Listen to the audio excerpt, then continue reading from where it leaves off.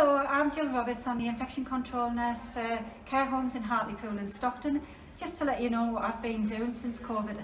Uh, hit the care homes and they've had many outbreaks. We've been coming in with advice and support. Uh, at the moment I'm delivering training. Um, I give support over the phone to all the care homes and care home staff.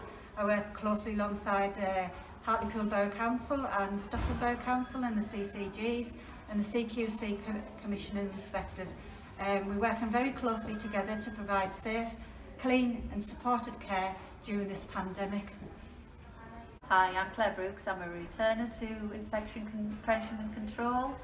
I'll be working with Jill Roberts of the Infection Prevention team at North Tees to come into the nursing homes to help support with tra training and information.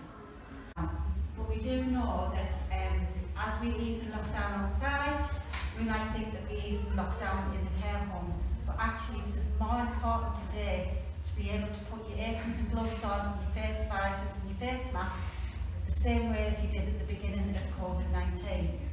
What I'm asking you to be is PPE safety officers.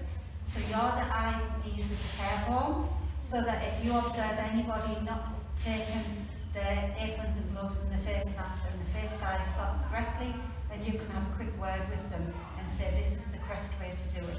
So you'll be all classified as PPE safety officers um, and I'm going to do a quick presentation and after the presentation we'll get some uh, volunteers uh, to come and put the apron and gloves off and then we'll observe you take any aprons, gloves, your face visors and your, your masks off appropriately so that you're not going to contaminate yourself because that's the most important part. We don't want you to contaminate yourself. Um, so uh, Jill Roberts, the infection prevention control nurse, um, has been very supportive in helping us deal with it and battle.